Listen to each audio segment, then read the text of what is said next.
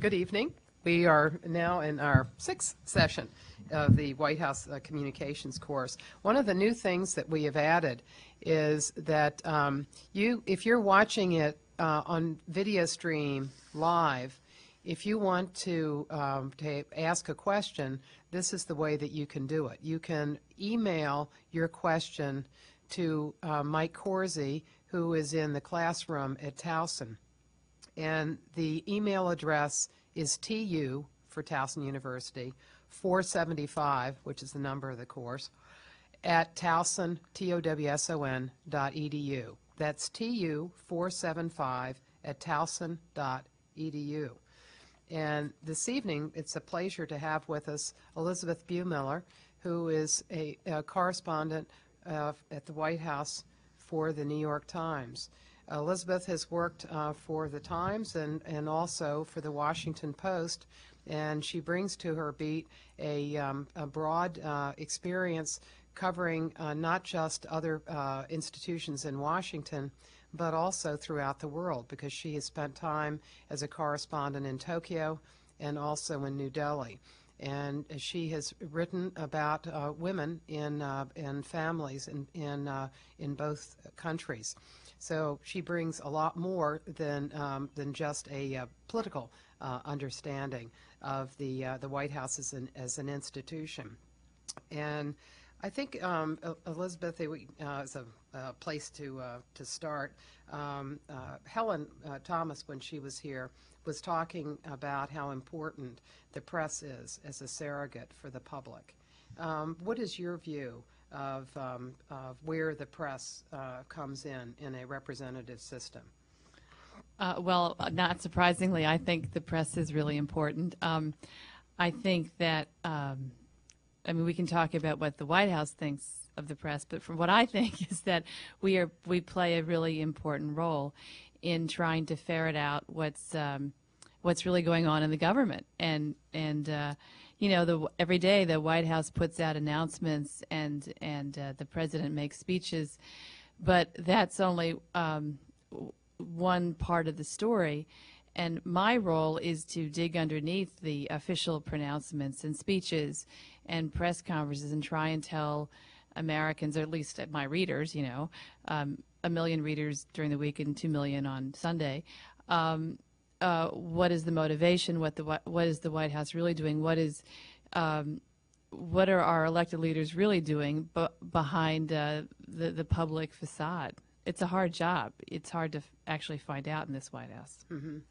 Um, what are some of the ways in, in which um, they're uncooperative in providing the kind of information that, that you would like? Um, and I would say almost in all ways. Uh, there, this is a tough White House. I'm sure you've heard this if you've heard from other reporters who cover this White House. Um, uh, it's it's one of the I you know I've been in and out of Washington over the last 20 years. I was I worked for the Washington Post during the first term of Reagan, and and so you can't just say that Republicans are like this, that Republic, you know, Republicans aren't real friendly with the press. This White House is extraordinary. Um, they um, everything there's everything is controlled. They're very disciplined. I mean, they like to get they get together in the morning and they have sort of a message meeting, and that's going to be their message of the day. So at least publicly, no matter what question you ask of any member of the administration, you're going to get the same response down to the same phrasing. I mean, Scott McClellan did it today at the White House, at the early White House briefing. We were all asking Scott, um, did the administration or did the White House view the uh, the vote in Spain, which you know, as you all know, that the uh, people of Spain elected a socialist government and and threw out the uh, the government of the uh, that was friendly to the Bush administration after the bombings, and so we all asked Scott, you know, five different ways. Did he think this was a problem for the White House, and did he think that um, the voters were trying to send um, a message? And and and um, Scott never answered the question. He just reverted every time to his talking points and his pr- planned statement, which was that terrorism is a terrible thing, and you can do any kind of political analysis you want, but terrorism is terrible, and and we will not let it defeat us. And so um, it's very frustrating. Um, do you think to, to some extent, if you look back, Republican administrations have that, um, uh, they have that, uh, that type of pattern, that um, uh, when you look at their operations, they're organized for communications. They're organized towards persuasion rather than for providing information. So that often the press secretary is responsible to the communications director. And um, uh, that they're focusing on their plan, uh, like they plan, say, three to four months out, and they want to talk about what they want to talk about.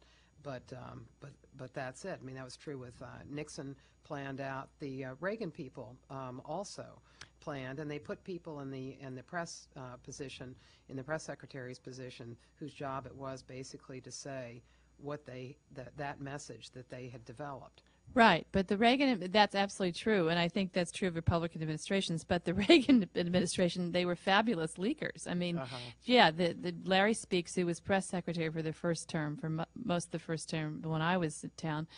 Should I look at you or at, who do I look at? I'm confused now. What's the best? Uh, uh, look at the TV screen, or I look Oh, we we, we can uh, okay. talk, and then when the, when we get um, the questions. look up there. Okay. Uh-huh. okay, okay. So I look up there. Yeah.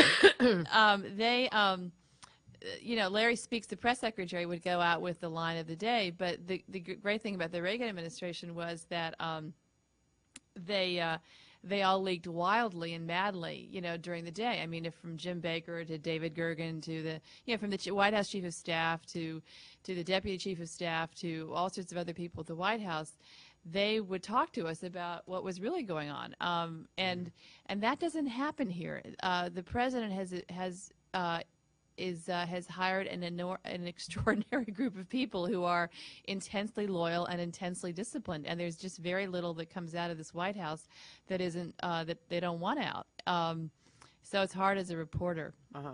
And, and I guess Baker thought that it was important for reporters to have an understanding of policy. And Right. so he did a lot of background briefing uh, because of that. Right, and there's very little explanation. With two things, there's very little explanation of policy in this White House. I mean, if you read some of the books that have come out, the, the very beginning of these sort of tell-all books by former members of the administration, uh, they, you know, um, they say that there's like no policy going on. It's all the political shop and the communication shop that are that are running things, and there's a, a, an appalling uh, shallowness about policy. That's at least what you know. Um, uh, former Treasury Secretary O'Neill said, Paul O'Neill. Um, and uh, the other thing, so I mean, you could argue the other way. I mean, because I think there are a few members of the White House who you can talk policy with, but it's it's hard to do it. I mean, they have to get permission. The other thing is that um, I think there's a real aversion in this White House to talking about anything human about President Bush. The president doesn't like it.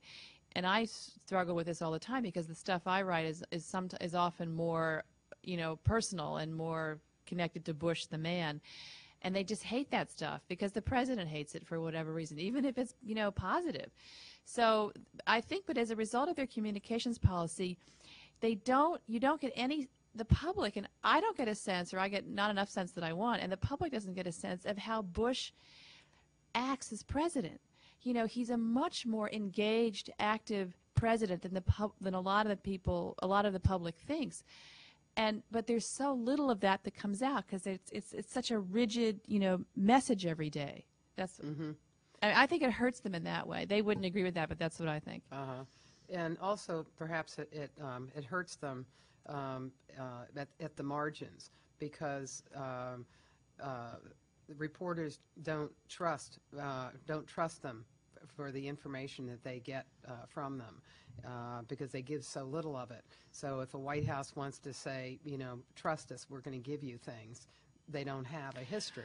Like say with the National Guard, um, the president had said in, uh, in his Russert interview that he would give information about his National Guard days, and it took until Friday to get that information. And in between, um, Scott McClellan got uh, beaten up in the uh, gaggle in the briefing Well, every day. That was a mess. Um, I would say, I'm, well, I'm going to go out on a limb here and say that my issue, I don't, I don't know of any instant when I've been outright lied to. I mean, I don't. That, that that's not my issue. My issue is mostly that the the uh, that you you can never get them off the uh, the talking points. I mean, they just you can't you can't engage them intellectually in a way that is helpful to my stories, you know, or to helpful to the readers, and that's really frustrating. I think on the National Guard that was a whole other mess. Uh, the president sort of just said in this interview, "Okay, I, I want everything out."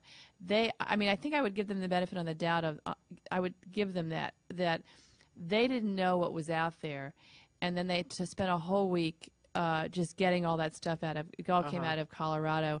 Um, Scott said at one point in the briefing, you heard him.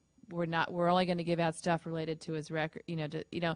Scott pulled back for a couple days, and then they came out again, and it was kind of. Uh, they were in a mess on that, but I think it was because Scott made some little missteps, maybe, and also um, they didn't. Uh, I, I give I'll give them the benefit of the doubt. They didn't know what they had coming out of Colorado, and then what came out really didn't help very much. Do you think that a, uh, that a communications operation that's, that's geared towards developing a plan and developing a message, that um, one of the inherent problems it has is stopping, stopping and listening? That it's hard to listen? That, um, that sometimes you can miss things that are coming up because everybody has a job and their job is to carry that message forward and that sometimes uh, that it's hard. Yeah, I think that's what's happening now with the Kerry campaign a little bit. Um, the White House is sometimes it's I sometimes feel like the New York Times is like this too. It's this big battleship and it's very hard to turn around on a dime. And the Kerry campaign right now is me, lean and mean, and they've got really good people for the sort of the best of the Democratic Party working working now for that campaign. And they're you know they're they're young and they're they're they're um, they're just completely focused and energized, and they're just slamming this stuff this stuff out about Bush, you know, six times a day, and the White House is a little slow because. I mean, they're getting. I, I think they're getting better. They, it's only been a couple of weeks now, but the last, they really, um, yeah, they they develop their plan early in the morning, but then it changes all day long, and they're real slow to come back. I mean, they really got, they really got undercut last week when, when uh, the president was. This has been written about, but it was. I mean, I'm.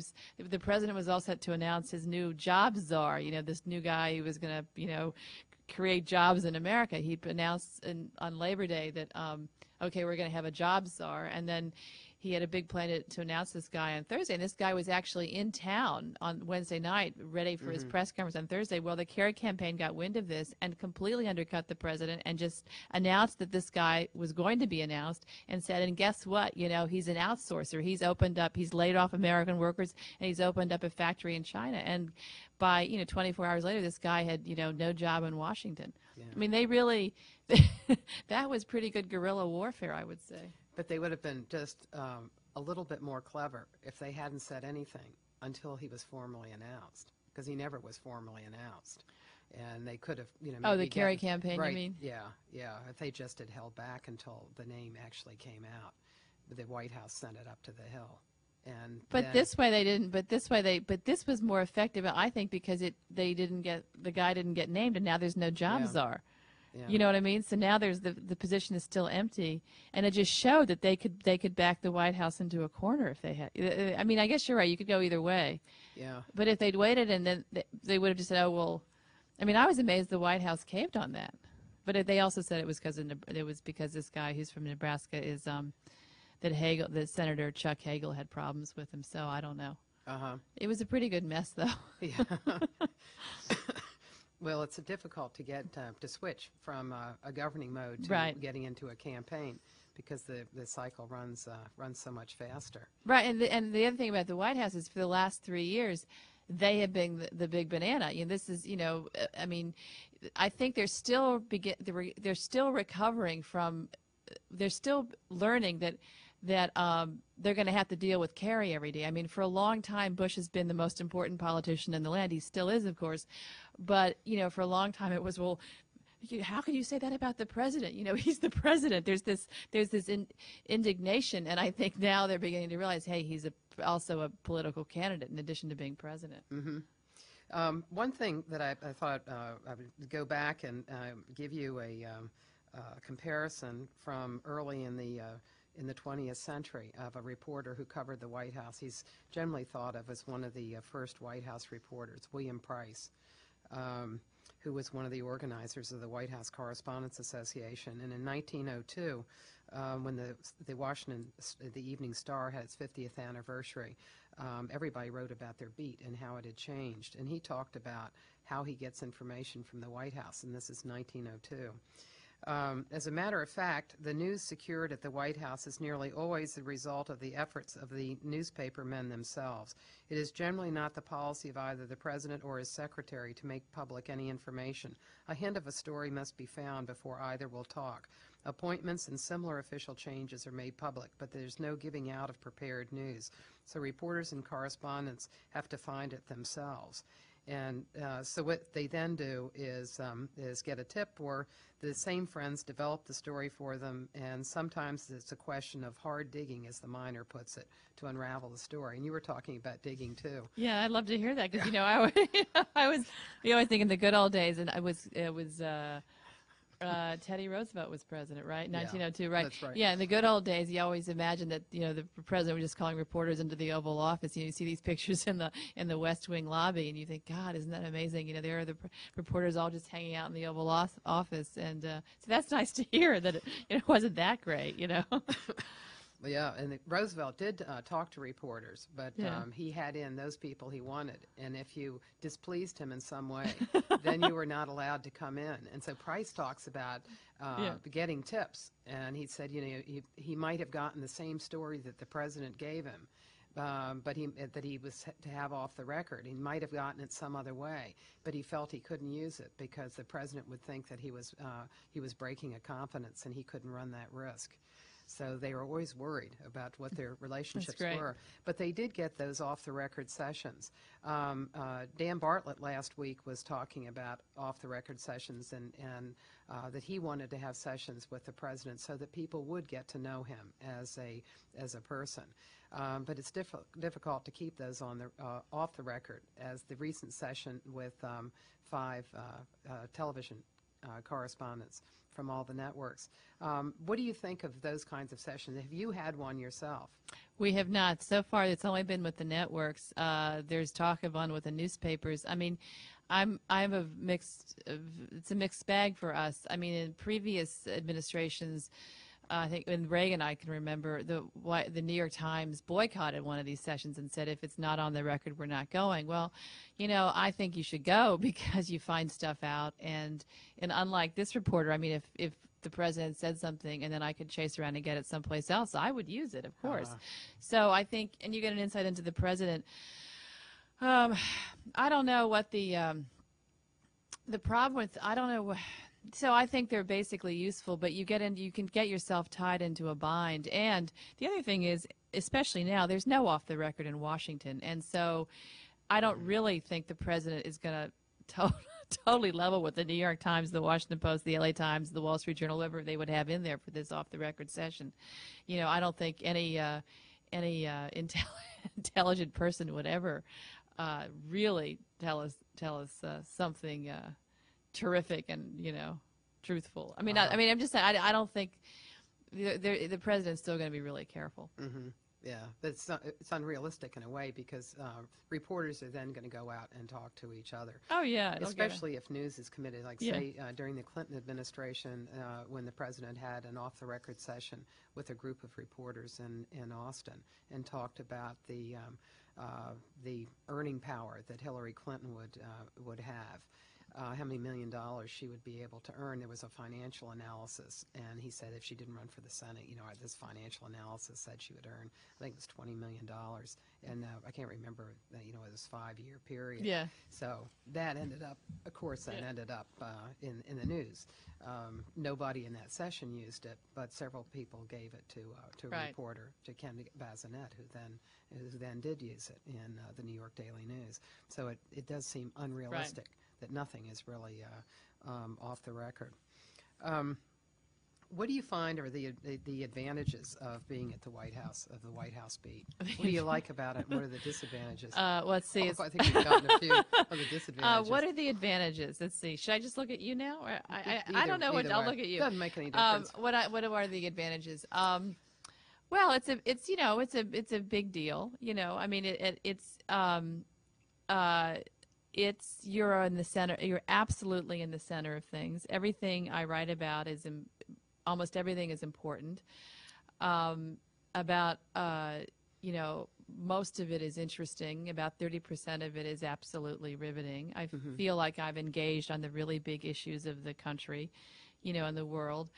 Um, uh, a lot. Some of it's very exciting. You know, the foreign travel, and I, you know, I was in Aqaba in Jordan when there was the summit between uh, that now is fallen to pieces, but but it seemed very important at the time last June when we were all there, and the Bush thought he was making peace in the Middle East. You know, another president led down that path, but um, but um, so I like that part of it. Um, I like. It's a funny thing to say. and I I like. Um, I don't work at the White House. I work at. I mean, the the New York Times bureau, uh, Washington bureau, is a few blocks away, just on the other side of Lafayette Park. But I'm at the White House a lot, and I like. It's a funny thing to say. I like being at the White House. I think I love it as a as a building and as a, it's a very beautiful, interesting place to be. I mean, I just I like. It's a funny thing. I like walking in there in the mornings. It's always pretty and it's always interesting, and I like it as a. It's to me the White House. It's, it's as an institution, as a home, as a museum, you know, as a, as a pu- somewhat public place, um, as a workplace is fascinating. You know, I, I find that really interesting. Uh, you know, this sort of upstairs downstairs aspect of it, plus the fact that there's, it's so small. You know, really, and and and it's got there's there's such stories in that building, and I go there almost every day. You know, and um, and uh, that's you know, and I guess it's um, that's what I like about it. I guess. Am I leaving anything else? I, I can't think of anything else. There's a just- lot of downsides. Um, I was just thinking that when you're, um, when you walk into it and, Yeah. um, um, and you're thinking about the White House as a whole, so Mm-hmm. in a way, you're thinking about more than the, than the president. Is that something of a reminder that your beat is more than just covering the president? Sure. But that it's a covering the, uh, the institution of the presidency and covering Right. the staff? Yeah, and yeah, exactly. Because I, ca- it's a big, it's a big, broad beat. Um, and um, you know, when you go back, and I was just reading about previous presidential elections. You know, I did a piece over the weekend for the Weekend Review on on negative campaigning, which and they've been negative for 200 years. Yeah. and this one is like nothing yet. Forget it. This is like, you know, kindergarten. Um, but when you go back and you read about this stuff, and you it just is, you realize this is a great thing to cover. I mean, this is interesting, and Uh-huh. and and uh, and also when you walk into the East Room and you realize, I think that's where Lincoln laid in state, and you think about just this country. I mean, it's a wonderful thing to cover. I mean, uh, uh, you know, if you step back, on a lot of days, it's completely agonizing and maddening Uh-huh. and frustrating. It's true. uh, and, uh, I was thinking on, the- on the Yeah. East Room, that's the, um, that's the place where um, uh, President um, Jefferson uh, uh, talked to Meriwether Lewis. Right, and that's- I um, think and was Meri- teaching him. That was where Meriwether Lewis had it. I think they had split it up into some offices for Meriwether Lewis. I mean, think about that. I walk in there a Mm-hmm. Lot, you know, and and um, that's amazing, you know, Yeah. and and I guess, um, so I like I like that part of it. Uh-huh. What are some of the downsides? Well, those are a lot. I mean, the um, uh, the downsides are that you're on a very you're in the bubble. It's very hard to do anything original, and you're on a very short leash with the office. I mean, I I- in terms of being original, it's very easy to be a mediocre White House correspondent. It is very hard to be a good one.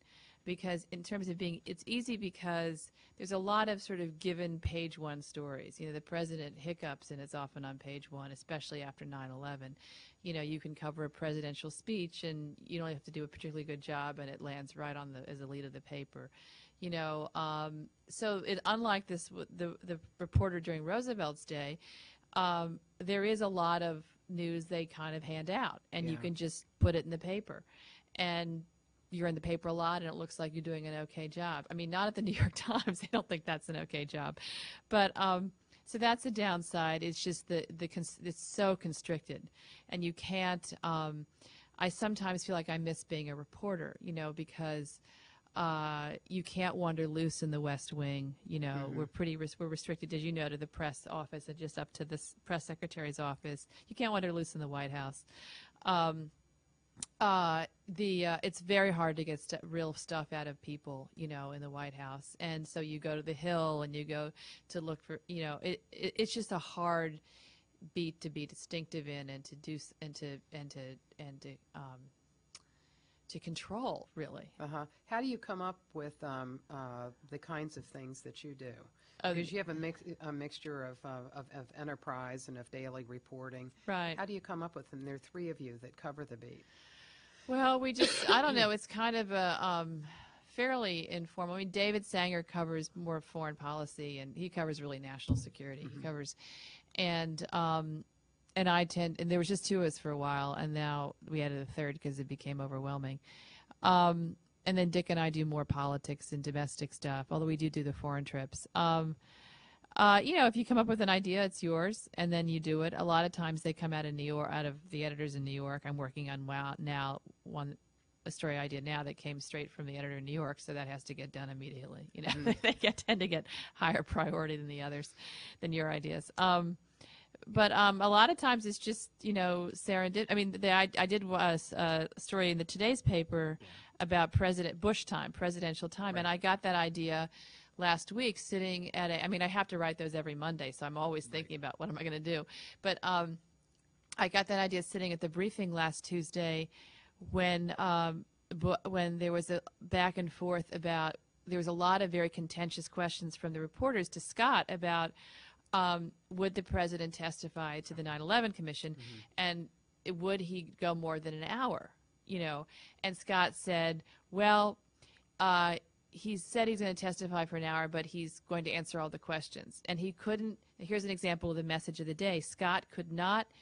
You know, it took an 45 minutes to get. Scott said he's only going to testify for an hour, but he's going to answer all the questions. And we said, Scott, you can't have it both ways. And we went back and forth and around and around, and we got nowhere. But during that around and around, I started thinking about time.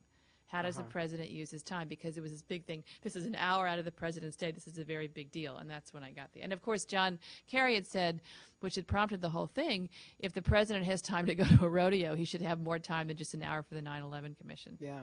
Um, but it was a very interesting piece in, in your uh, discussion about his meetings. And, and I was wondering, in uh, looking at the way they use time, as to what they use it for. Um, Yeah, for didn't get into example, it, what yeah. are those what are those meetings for? What role do meetings play for him as far as uh, the decisions that he makes? Um, a lot of different things. Um, there, uh, I can tell you. Let's see, things I know specifically, like on when they were um, on Medicare, the Medicare bill and the prescription drug bill last fall. I talked. The, the role for meetings for this president, because they're never more than 45 minutes, is to get a quick update from the staff on where we are in a certain issue. Let's say prescription drugs, okay, or Medicare, up, uh, of some bill on the Hill. And boom, boom, boom, you got to come in. And everyone I've talked to says the same thing. You know, this Paul O'Neill aside, that's another issue. That's cabinet meetings. But, and these sort of smaller meetings in the Oval Office with a small, um, the role, everyone goes around and presents, okay, here's where we are, here's where we are on the Hill, here's where we are with this group, here's where we are with that group. And the president, you know, moves in very quickly to find out, and I've seen him do this, um, okay, uh, to just sort of, he zeroes in and gets the piece of information he needs out of the person. And he'll just, the person will have a 15 minute prepared presentation to Bush, but he'll, you know, he'll, he'll be interrupted right away. And then Bush will make a decision very quickly after listening to all this about, okay, this is what we're going to do. We're now going to, I want you to do this, this, and this, and I want it, I want it done tomorrow. You know, and so it's more of a CEO kind of thing. There's not a lot of discussion about ideas or maybe we should do this, maybe we should, we should do that. I mean, that might, that probably goes on earlier. But the ones that I've seen, um, it's, it's moving toward getting information quickly and then moving toward action based on the information. Um, There's not a lot of. Um, he's very decisive. Mm-hmm. There's not a lot of second guessing or what about this, what about that. Uh-huh. How does it compare, for example, during the, um, the Reagan period? um, Were you able to get some sense of uh, how, how Reagan made decisions? You know, I didn't. Co- I in meetings? Ah, that's a really good question. I didn't cover Reagan. I was a, I was a reporter for the. I mean, I covered him to the extent that I covered the administration. I was a style section reporter for the Washington Post, and I did a lot of profiles of White House officials Mm-hmm. and you know, like Deaver and you know. that- Larry Speakes, I remember. yeah, Speakes and Speakes. stuff. And so I didn't really cover that part of the White House. And I don't know the answer to that. I, do Mm-hmm. you know the answer? Do you have any idea? Um, uh, no, I, could- I, can't I, I, say- I mean, I think he was less engaged, but that, I'm not sure.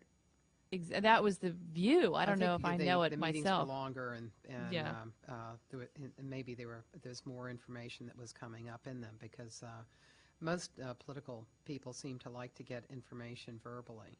Um, Yeah. A lot of them do. Carter didn't, but uh, Clinton seems to, because they are uh, people who, as politicians, uh, enjoy dealing with other people. Yeah. Not Oh. necessarily reading. Yeah.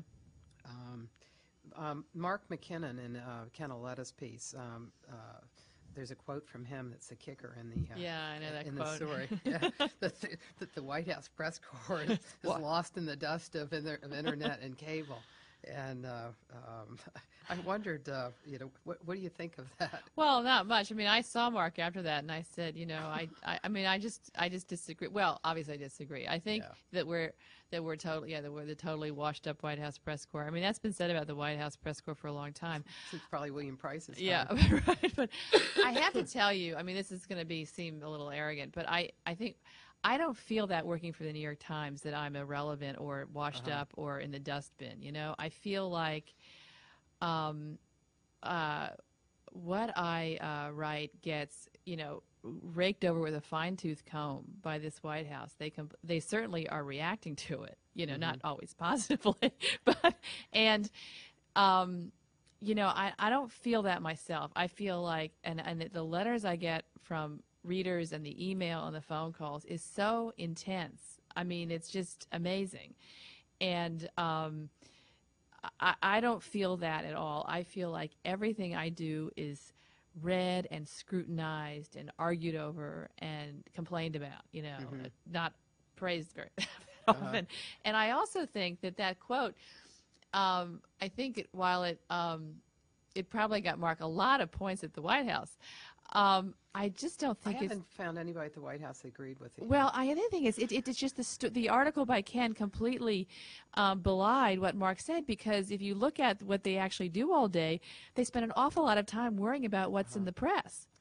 Their, the, the morning staff, the, the senior staff meeting at 7:30 is all about well, what's in the papers. Plus, we talked about that giant, you know, the giant White House uh, clipping service they get. Plus, after the 7:30 staff meeting, there's a, a whole communications meeting about how we're going to deal with the, the press. I, I mean, the whole thing.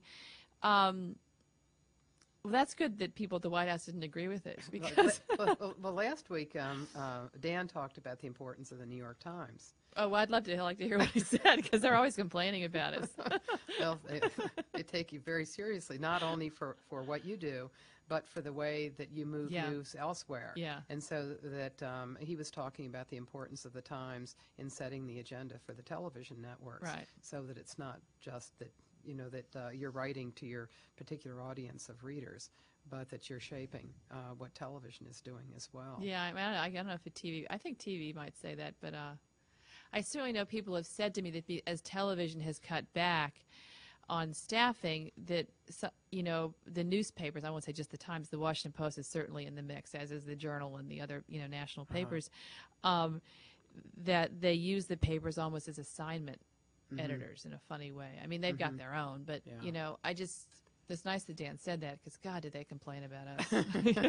yeah. Well, uh, uh, I mean, when you think about it, it's really the White House press corps that's writing uh, is writing the first cut, the contemporary Yeah. cut Yeah. of uh, history, because it is the press corps that is uh, writing about the policy, writing about the presidential actions.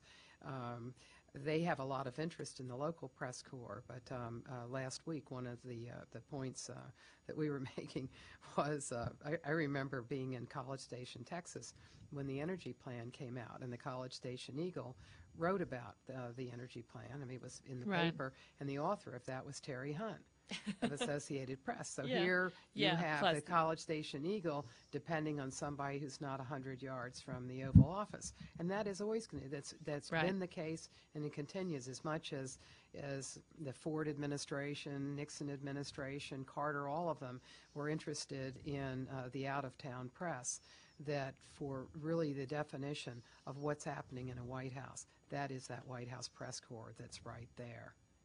Um, So I, I was surprised by that quote from Mark McKinnon, but I thought it's, uh, it's kind of, uh, it's a f- fun one to, uh, to Yeah. deal with anyway. Um, uh, In, um, uh, in looking at, at your role, it seems that you have more flexibility than a lot of White House reporters do because you have that, uh, your column that you can yeah. write about. To what extent do you get to do whatever you really are interested in doing? Well, through that column, I do. I mean, it was. I, I don't understand how. I mean, it. It. it uh, uh, I don't. Um, I'm. Sur- I'm really glad I have it. You know, I mean, it's it's hard. You know, because it ruins my weekends. you know, I have to come up with an idea every week. But it's a great. Um, yeah. I, you know, I'm I'm given more voice in that than I get in my in the newspaper. I mean, I sometimes find that. You know, after writing one of those, I then write a news story with a little more life to it, and it always gets taken out. I, then I just put it in the column on, you know. But um, I, I, uh, it, the idea came from uh, of all people, Howell Raines. I mean, he, uh, Uh-huh. it was during the uh, when we were running the. Um, when we had the Nation Challenge section that we ran Right. um, Uh-huh. after the uh, during the uh, after September 11th and during the war in Afghanistan, uh, we had a lot of pages to fill, and as the war was winding down, that we had less. It was harder to fill that section, you know. And so um, uh, Howell said, "Would you like to write this thing on Mondays for the Nation Challenge, and we'll put it on the second page?" And and so I did that, and then Johnny Apple, another, uh, you know, uh, illustri- really illustrious Times reporter. Uh, also wrote he wrote a letter from Washington. I did White House letter, and he did a letter from Washington. And um, anyway, after the section stopped, you know, I, early 2002, I guess it was, or late. Um, uh, I kept it. I mean, they said, "Do you want to keep it going?" And I said, "Yeah." I said, "But I don't want to do it Mondays because it ruins my Sunday." They said, "No, you have to do it Mondays." So I don't know. So I do it Mondays, and it's Uh-huh. I kept it up. How do you come up with ideas? Well, it's hard. I mean, sometimes uh, I'm, you know, Friday. No, usually by Friday I have to know what's going on because I have to do the reporting for it um, uh, before the weekend. It's very hard to reach people on a weekend unless it's a major news story, you know. Um, I don't know. I mean, it's today's Monday. I'm not worrying too much about next week's, but I start worrying on Tuesday. I, I I try and do stuff that's topical. Um, it's off the news. I mean, I I mean, I realize it's important real estate in the New York Times. I mean, it's you know, it's in the back of the A section, but it's still the New York Times, and so I feel like I've been given this space. It's there no matter what. I mean, that's a great honor in a in a way in this business. So um, it better be good, you know, and so I better impart information. It better be stuff that is interesting, that I work to get, and not just me sort of yammering on about something. You know, it's, I feel that you know it has to have value. So um, I have some ideas for next week. I'm not sure. A lot of times I kind of wait to see how the week is shaping up, and sometimes I do it if there's a theme for the week. I mean. Um, last week it was obvious it was time. The week before that it was Bush getting into the campaign. Sometimes I do it on a person. You know, I, it's Uh-huh. hard to do 800 words, but I do it. When thinking, you were talking about uh, how hard it is to kind of get to the person of the president. One of the ways in the in the past that it's been important, um, an opportunity to get to who that person is as president, or presidential press conferences. What do you find um, their use are? Uh, the the major uses are of the press conferences, and um, and uh, do you think that um, they should have more of them? yeah, here, here, do you want one of these? Um, uh, well, sure, they should have more. Um, well, you know, I mean, I don't think press conferences tell you very much about that much about the president. I do think what's their use? Their use is, um, you know, uh, making news. But I mean, I, I, I I'm I'm less. Um, up in arms than my other colleagues at the White House about that there are not enough. I mean, there aren't enough, but I don't think that they tell you that much about the presidency. I mean, they're they get you a page one story and they get some news, they drive some news, but Uh-huh. that's usually because the White House wants to make news. I mean, the president is perfectly capable of getting up there and not not making news. I mean, they know he knows what he's doing. Uh-huh. You know those press conferences. So, um, so I, uh, but I mean, I get, I guess it's good for the public to get a look at the president and to see how he handles, you know, this president, especially the half of the country, you know, that doesn't support him, thinks that he he's. I mean, doesn't think he's very smart, you know. And so I, it's, I think it's good for him to get up there and answer questions in a live setting. I mean, he's, he can be, he, I think he's quite good at it, actually. Um, I'm not one of those people who doesn't think he's. I mean, I think he's quite smart. But I, I'm amazed when I, you know, talk to. I mean, you must hear this yourself. You know, that. Um, so I think it's good to see the president in a in that setting, and and you know, especially you know, he had a press conference which the uh, right before the war started last year in early March, about a week or so before the war started.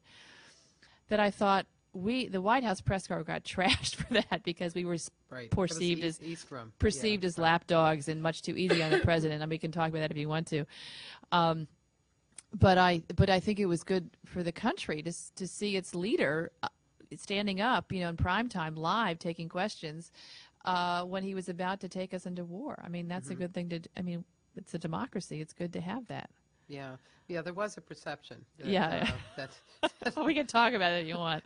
I have my own version of that, but um, uh, but in a way, it's, it's, uh, uh, it wasn't in your hands. Uh, No. You can ask questions, but, um, but how can you uh, end up uh, pressing a president to a point? Oh. He's going to give an answer that he doesn't want to give. And you're you're completely at a disadvantage in those press conferences. Is you just there's just no way. He, I mean, he's got he's got all the advantages of being the president of of um, having the really the sympathy of the audience, and um, you can't push him too hard, or it becomes a it becomes a story about you. As I've learned, I did the um, I was a panelist in the in a in the Democratic debate up in New York. The last actually the last Democratic debate between uh, four candidates left: Sharpton, Kucinich, Kerry, and Edwards.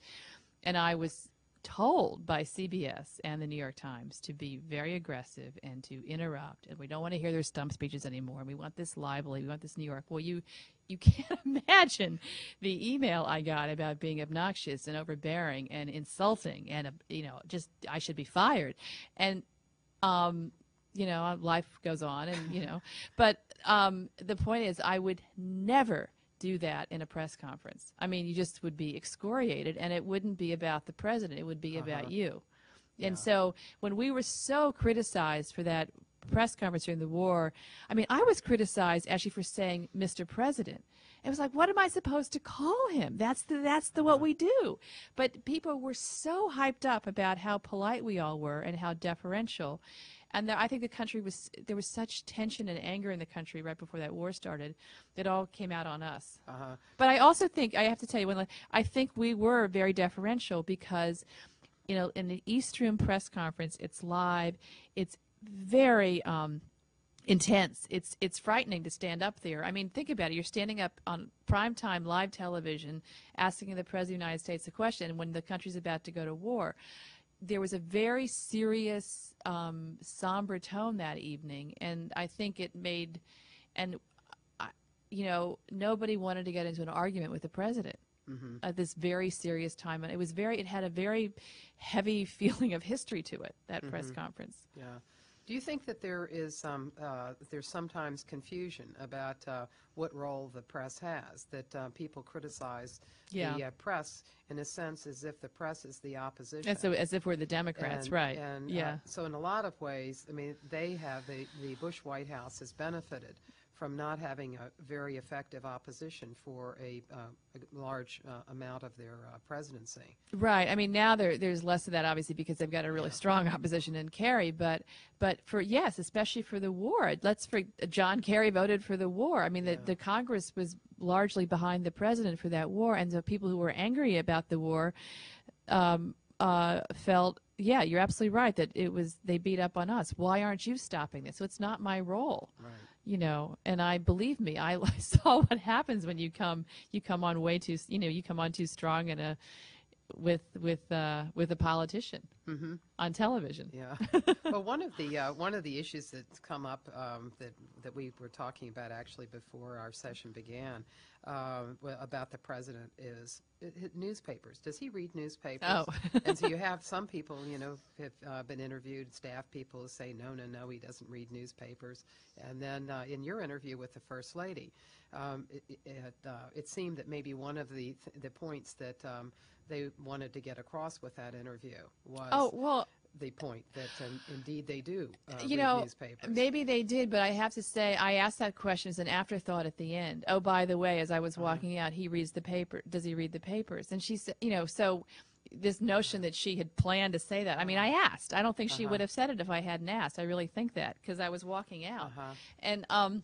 Of course, he reads the papers. He's always read the papers. I mean, before he was president, he read the papers. Um, uh, I know he reads the New York Times, not every word. You can't actually read the New York Times and every word and be a productive member of society. You know, it's not enough time. But, Yeah. but um, uh, yeah, he. Um, I think. I think. I think he reads them like a lot of really busy people read them. Um, I think in the morning he gets. She. I mean, Mrs. Bush told me. Um, I don't think I put this in the story. She said they get the New York Times, the Washington Post, um, the uh, Wall Street Journal. Wall Street Journal, uh, the Dallas, they get the Dallas paper, the Texas papers, they get them late. Um, USA Today, the Washington Times, you know, the basic Uh-huh, papers we all get in Washington. And um, they read them in bed with coffee, and then I think they read them over breakfast. And no, he doesn't read every story. I don't read every story. There's a lot of stories I don't have to read, you know.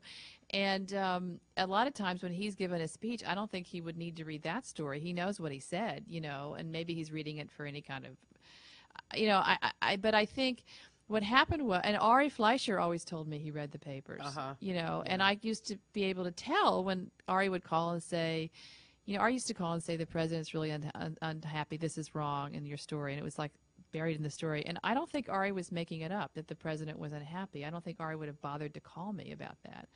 And um, and and I think that what happened was last summer, uh, the president had a bunch of reporters over to the ranch in, at the end of the summer in Crawford. I wasn't there at this. I wasn't in this thing, but he, in, in that session or in this little Uh-huh. barbecue, he told a bunch of reporters that he, he didn't read the papers, and I think, I think, I think he was just do. I think he meant it like I don't. You guys aren't that important in my life. You know, I don't. Uh-huh. You know, I've. uh, You know, I don't need to read. You don't need. You don't. There's nothing you write that can tell me anything. And you know, Mrs. Bush later backpedaled with me and said, well, what he meant was he doesn't read everything, and he doesn't read the columnists. You know, the the ones that are being up on him. Know, Uh-huh. and he, uh, which may or may not be true, but um, I believe her. I believe Ari. I believe. I, I Uh-huh. just. I just. Uh, um, it doesn't make sense that he doesn't read the papers. Maybe he reads them less now than he used to, Mm-hmm. because he's got you know summaries and stuff. Um, how um, how do you hear from the White House when the president's unhappy? You you mentioned You get, you get press there. secretary calls or You Scott will call. Um, did they call you? Do they, they ever call your editor, Um, or they just call? they you? usually call me, and then I don't think I'm trying to think what they they usually call me and complain, and then you know, uh, I'm trying to think if they've ever called the editor. No, What kinds of things do they complain about? little funny little things, you know, little things. Um, uh, they once got really mad about something I wrote about the president and God, and it was early on. It was after nine, right after 9/11, and I made some comment that I thought I wrote something that I'd heard from a really good close friend that the I can't remember how I phrased it, but it was something about how the president thought that God was testing him or something. It was it was a very mainstream thought. You know how you say that God never gives you more than you can. You know how Yeah, religious. You right. know, you know it's very standard. God doesn't give you more than you can handle, or or um, you know God had given. It, it was pretty. I thought pretty um, homogenized. I didn't think it was Uh-huh. really out there. And um, but the White House got so angry because they thought I was saying that Bush thought he was, you know, appointed by God, or that you know Uh-huh. God had, you know, it, it was so they got very angry about that. Other things like, uh, uh, I mean, Scott got mad at me about something he said in a, the way I characterized something he said in a briefing. Um, there was little, it's funny little things. One time, I, oh, I told you earlier, we, um, there was a, I did a story, uh, and we wrote that, um, it was a double byline story, and the other reporter had written that the stock market went down after a presidential speech, but actually it went up. It was kind of a bad mistake. Uh, and so, uh, but since my name was first on the story, they came after me. And Scott was on my case because it was uh, for a week for a correction. And I, I was pretty sure it wasn't just Scott driving that. You know, I think it just irritated. I, I don't know. So that's what I tell you. Um, uh, Well, just see if we, I think maybe what we can do now is go into, uh, to questions. We Oh, can okay. get some questions from You're all Allison. and- still, you're all still awake.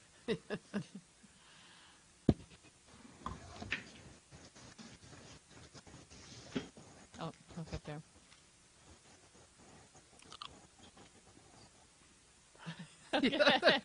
no one seems to have inspired. No one seems to have inspired any questions.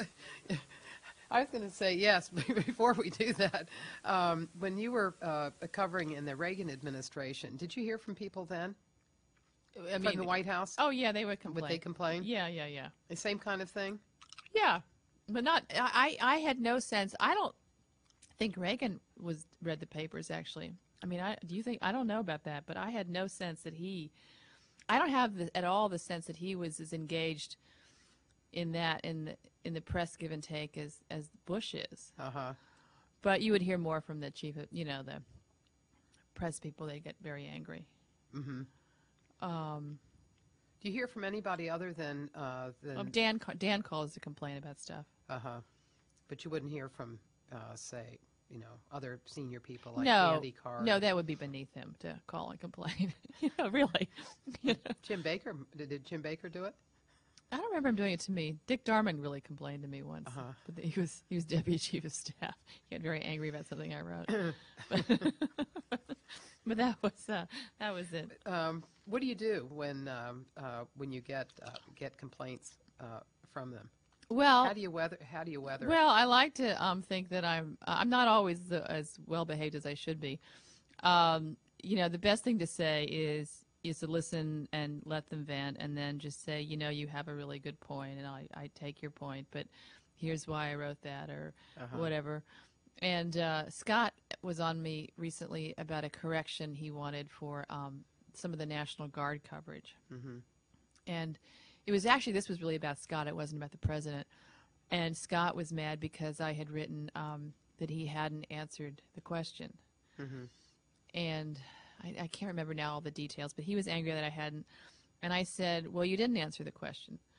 And he said, Well, that's just your characterization of it. You know, I answered it the way I wanted to answer it. So he sort of went round and around, and and uh, finally he. Um, but I just said, Scott, I don't even know what I would write as a correction. I mean, there's no factual error here. He just didn't like the characterization of it.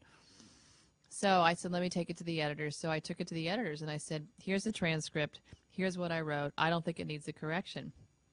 And I told Scott, you know, um, they're taking a look at it. I was really nice, and th- we'll get back to you. And um, actually, I never did. We just it just died. Uh-huh. We never ran. A, what didn't deserve a correction at all. One one uh, thing, and this is kind of often another uh, another area, um, to get a sense of what the White House beat is is like, to compare it with what other kinds of beats were, like when you were in India, and when you were in uh, in Tokyo, when you were putting together daily journalism with Enterprise reporting. Um, how did you do that? What were some of the things? Um, In India and Japan. yeah. Um, well, India and Japan were a little different because I was um, I was there on contract for the Washington Post, so I had very little. I didn't really have much daily responsibilities. It was very. I mean, I did really good stories there because I had a lot of time and Yeah. I could, you know, take a week or two on a story, and I traveled a lot. So, but I mean, I did do some spot news, and so you just you just try and mix it up. You're always, um, you know, you cover the spot news because it's it happens. You can't control it, but whenever while you're doing that, you're always working on a on a longer term project, which I kind of can't, I kind of always am anyway. That's sort of how you do it. Is if you cover a beat that you do the daily, but then you also have a you know have a couple of longer term things in your pocket that you're working on at any given time. Right now, I'm I'm you know where I have to, I'm supposed to go to um, Fort Campbell, Kentucky with Bush on Thursday.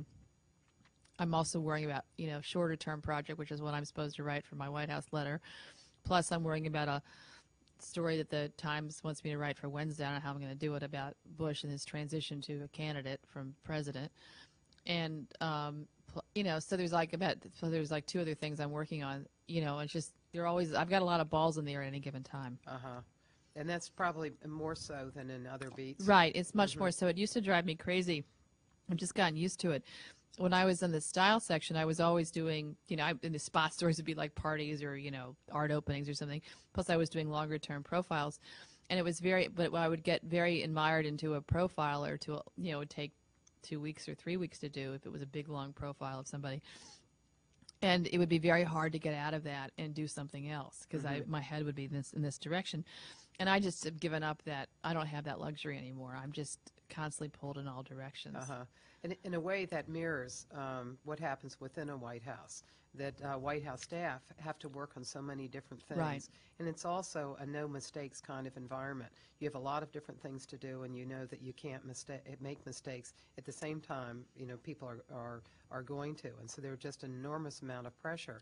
And so what that, what that it usually ends up with uh, for White House officials is um, not long tenure. Right. Um, they say, it like Right. uh, Ari Fleischer.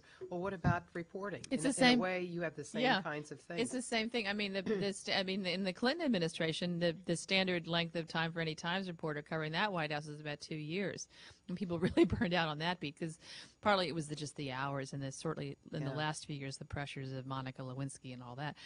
But um, it's certainly true of this beat too. I find one of the hardest things is the uh, you're right. You can never be wrong. You can't make mistakes, and the range of topics that I have to know about covering the White House is just enormous. You know, well, you know what they are. It's it's all the domestic policy.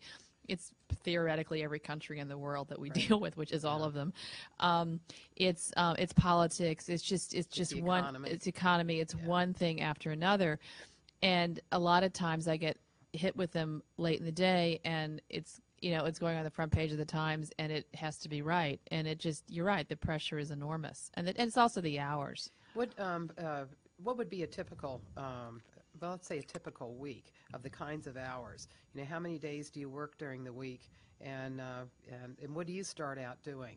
Um, we have some sense, uh, for example, I think of how White House officials Right. uh, begin a day and, and whatnot, but, um, but reporters, we don't have quite the same. What do you read in the morning, and when do you get up, and, and the rest Oh, of well, you know, you want to hear all this boring. right? yeah, well, I've got two kids, so I'm up really early. But um, well, let's see. Usually, um, our days start later uh, at the office than the White House does. I mean, we're always Mm-hmm. a couple of hours behind the administration because they have to do their thing first, and then we have to find out. Then we have to cover it, right? But um, Yeah. Um, I'm up really early. I'm up around five, five thirty because I go to the gym or I run, and then I have kids I have to get to school. So by the time I get to the office, I've been up for five. You know, I've been up for five hours. You know, it's just the whole day's gone. So, um, I mean, today uh, I got in by I was up at five thirty, and then I came home by you know seven. I went to the gym, and then I came home by seven, and then I had to make lunches and get I drive the carpool for middle school, and then I had to come back, and I have a live-in nanny, so I shouldn't complain too much. And then um, then I had to uh, get the other my son. She actually got him breakfast because I was away driving the carpool, and then my husband's in India. He covers um, Colin Powell. That that's the problem. I am a single parent this week. Normally, I have help at home with, with, with another person. He also works for the Times. So, um, and then I, I what happened? Then I had to walk Teddy to the bus stop, and then uh, I came back, and then I drove to the office, and then uh, I got. Would you have read the papers? I haven't read the papers. Uh-huh. So, where did so where did I read the papers in there? Nowhere, right? That's what I mean. I think the, you know I feel for the president, right? So. I, but you know, I know how to read the papers. I know to look at. Um, I mean, at the health club, I was lo- Right, watching CNN, so I knew that there was no disaster. You know, that's my Uh-huh. main thing. Is you don't want to go into the White House or the office with, you know, a huge news story and be totally oblivious to it. It's a bad idea. Um, but I knew from CNN watching it, you know, with the crawl that there was nothing going on. Uh-huh. So, um, or nothing much. I knew that the big story was going to be um, was going to be Spain. You could Uh-huh. tell that this was a big, and we, which we had already. We had David had the story this morning. David Sanger saying that this was a big problem for Bush Mm-hmm. had just lost a big ally. Um, and then there was a there was supposed to be usually on Mondays there's a 9:30 uh, foreign policy meeting at the office where we all talk about what we're doing that week on foreign policy, and there's a 10 a.m. Um, domestic policy meeting. Um, I go to both because you know all the the three White House correspondents go to both. We're the only ones who do. And but meanwhile that was late, so then I went over to the White House for Scott's uh, early gaggle at 9:45, which was an hour late today. Uh, Scott has been running really late, his early briefing. So I guess that's when I read the paper. You know, everybody was complaining. I thought, great, now I can read the paper. Yeah. So And I true with a lot of people. You Yeah. see a lot of people reading. yeah. So I the sat there and I yeah. read the paper, and that that solved that problem. And then Scott had his gaggle, and I went back, and um, I was not. I was hoping not to write a story today because I was coming here, and it's hard to get out at 5:30 if you're writing a story. And um, and I saw instantly that I could avoid writing a story if I because I saw that there was a Scott had said a couple he'd, he'd really trashed Kerry today, which was interesting. He did that from the podium, Mm-hmm. and after saying for weeks that he was not going to make you know political Right. statements from the White House, there he Right. was. So I knew that would go into somebody's story, but it wasn't a story on my own. Because and then the other thing was. Um, there was he said stuff about Spain, and that mm-hmm. was would go into another story. So, or maybe the same story.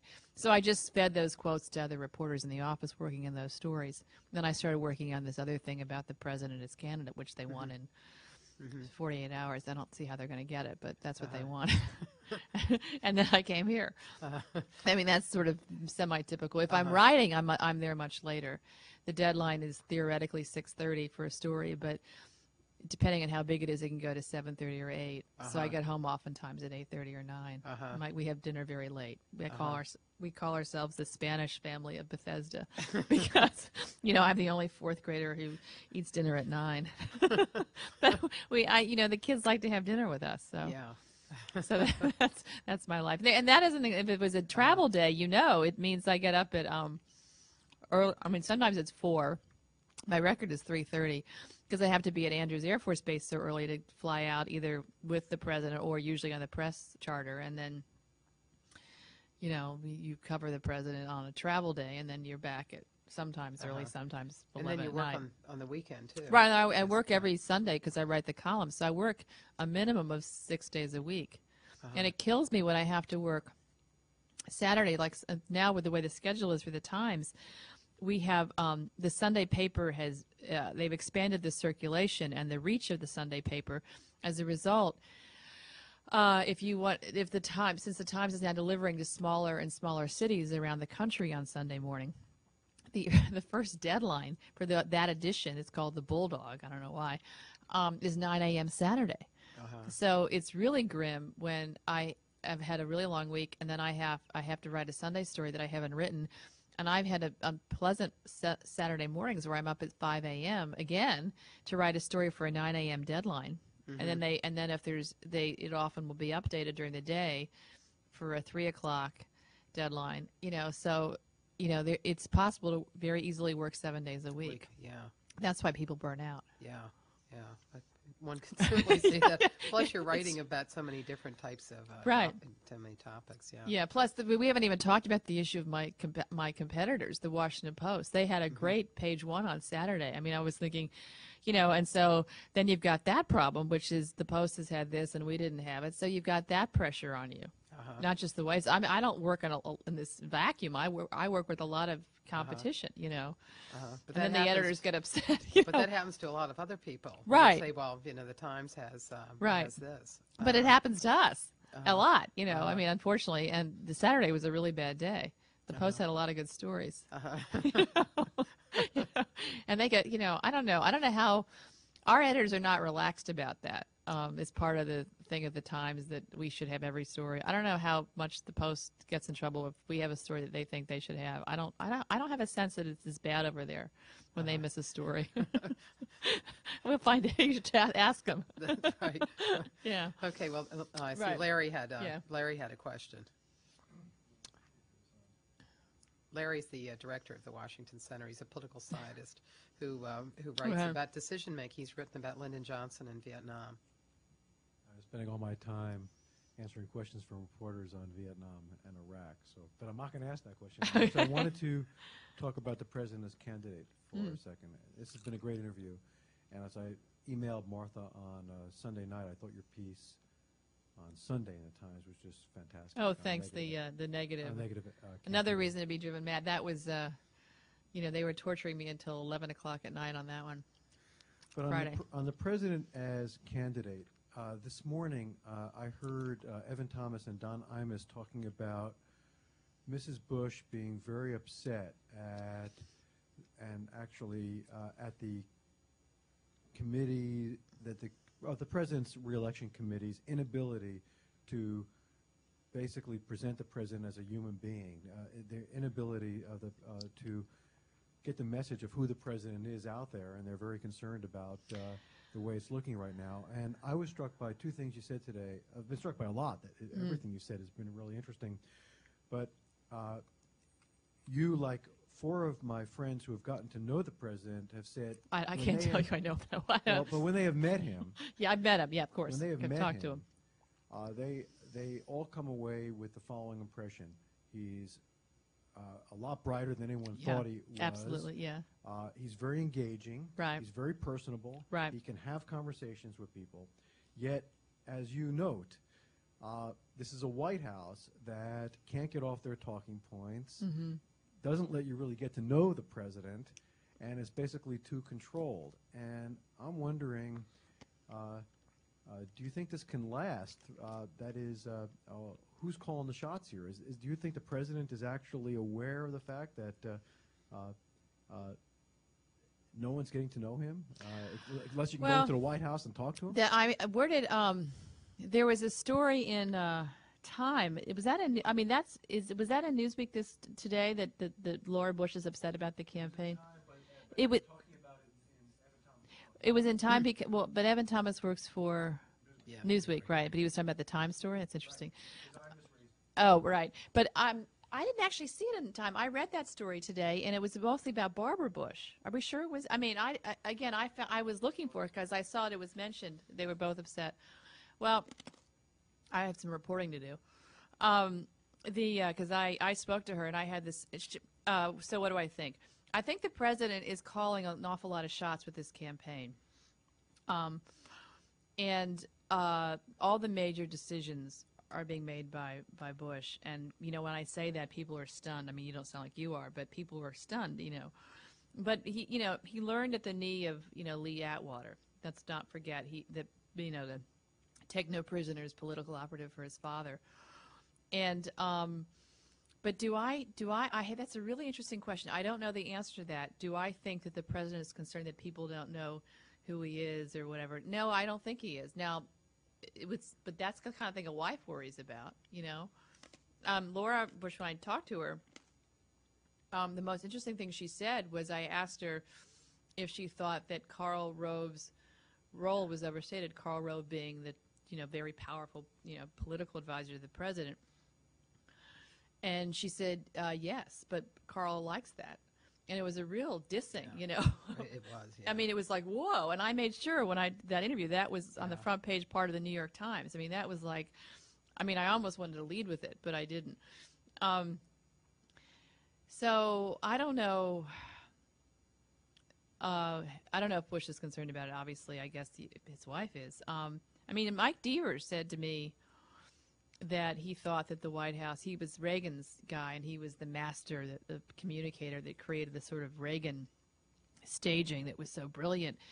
And he said that he thought that their their their control has has hurt you know has kept the this the real George Bush from coming out because you're absolutely right. Any most reporters of the White House like the president. I mean personally, there's no it's impossible not to, you know. And when I say this to Democrats, they get all upset and angry and, you know, I just said you know he's very Clinton like in his charm and in some ways he's in you know one on one he's in some ways better than Clinton because he's he's he's in, in a funny way more more humble you know personally and maybe he doesn't really think that but but when you meet him he's he's you know he's a very gifted politician. There's no question about it.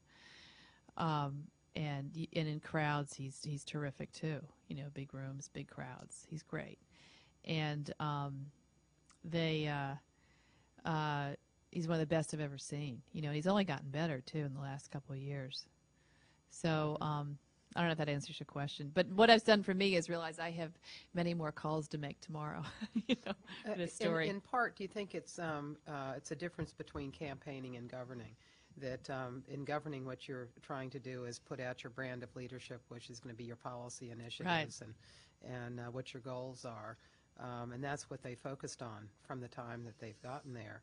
And that in campaigning, the person of the president becomes important. Yeah, that's, and I think um, let's see what happens. Maybe this will be a shift or something. Uh, he um, he's very happy right now. People say, you know, in combat, and you know, in political combat, and he likes this a lot. And um, uh, I'm all for you know, you know. I, I mean, it's just it's so frustrating for me to write about this White House. I mean, I didn't. I mean, George Bush is actually quite interesting.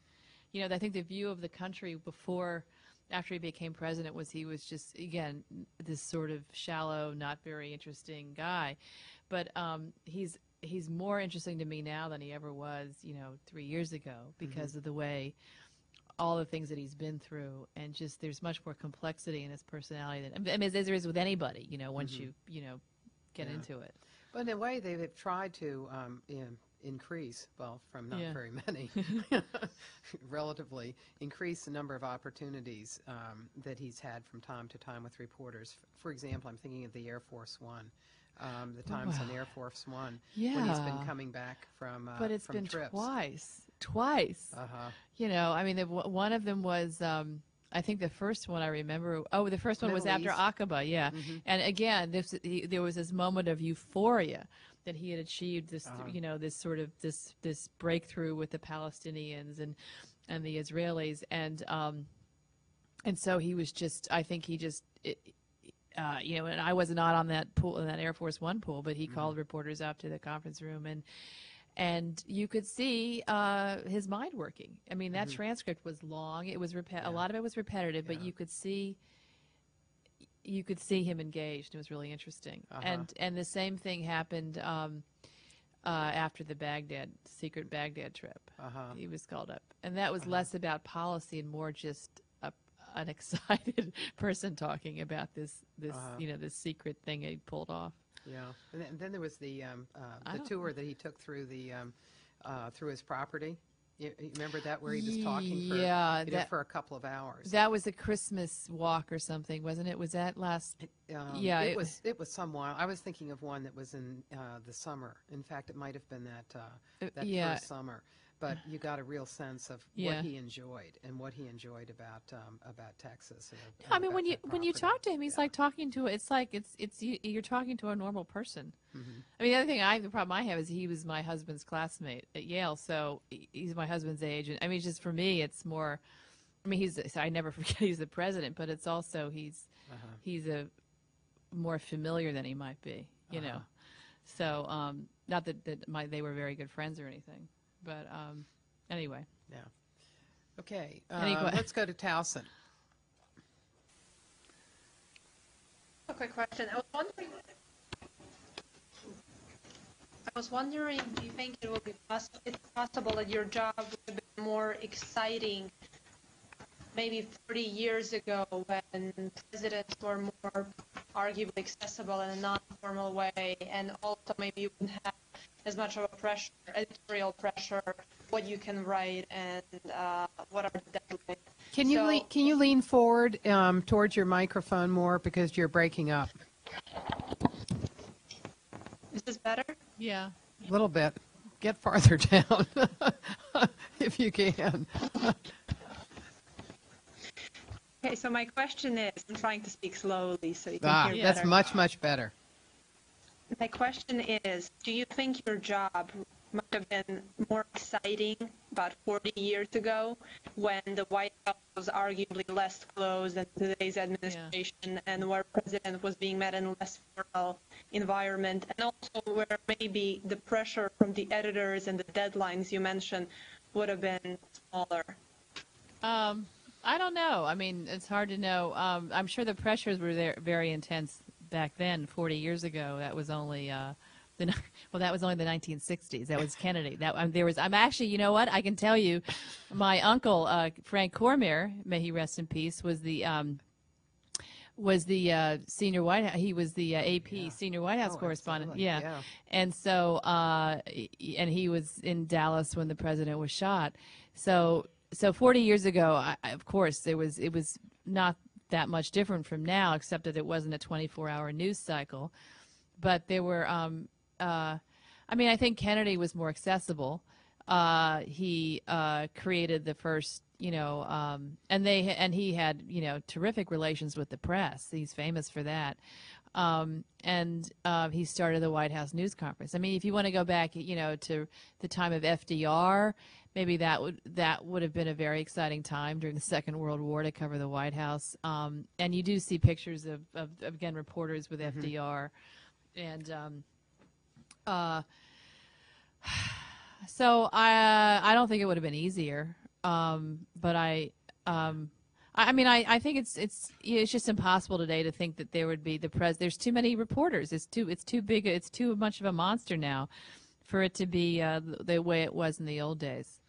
Yeah, and there was so much pressure um, eh, during uh, uh, going back and reading uh, Roosevelt press conferences. In one of them, uh, Roosevelt uh, asked, um, I think it was Robert Nixon, it was either Robert Nixon or Doug Cornell, um, if they if it was true that the day before, because they were both wire service reporters, um, I can't remember which one it was, but um, whether he had, uh, it's true that he had written 15,000 words the day before because it was a very it was a it was a huge news story. I don't Oh, my remember what it was. And Oh, so, my God, and so 15,000. Helen um, was uh, talking about Yeah. uh, Doug in a time when he uh, dictated for an hour and a half.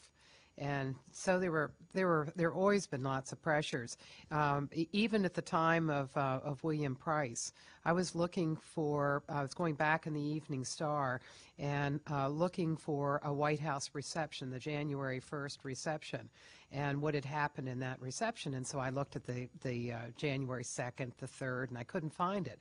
And then I went back and looked at January first, and because it was um, a PM paper, that they had a report on what the reception was that morning at the White House. That was a So- fast So turnaround. that is really a fast turnaround. Yeah. Well, my uncle, you know, when he was covering the White House, there was no, uh, there were, it was pre it was the 60s, but there were no computers. They were still typing on manual typewriters. If you want to see something funny, uh, you know, I mean, the the the of that fabulous book, The Boys on the Bus by Timothy Crouse. It's still it holds up. I read it. It's about the 72 campaign. Yeah.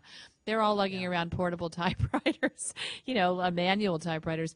My uncle used to um, dictate off the top of his head. He never wrote anything down. He just he you know that was what wire, really good wire service reporters could do in those days.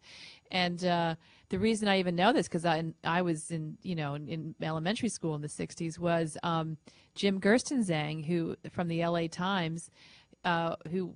Uh, in the last, he's left the White House speech just recently, but he, the first couple of years of this administration, he was covering the White House for the LA Times.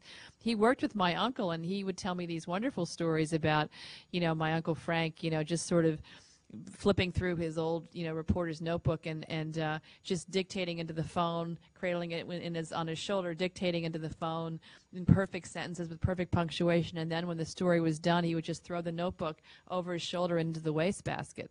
You know, it's great image of you know because he said he never saved anything. Um, I, you know, dictating off the top of your head in perfect sentences is is really hard. You know. And he talked. Um, uh, I interviewed. I interviewed him. Frank? And uh, yeah, Frank. And uh, one of the things I um, I remember is uh, his story of of the difficulties of dealing with Lyndon Johnson. Right. That, um, that Johnson was a president who could complain, and so uh, Johnson had complained about a story that um, that.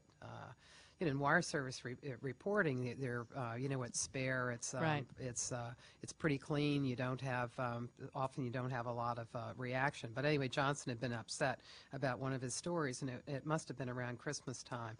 Because he said at Christmas, Johnson used to give reporters presents. And so that particular um, Christmas, it was a, uh, a tie, uh, tie clasp with a presidential seal on it.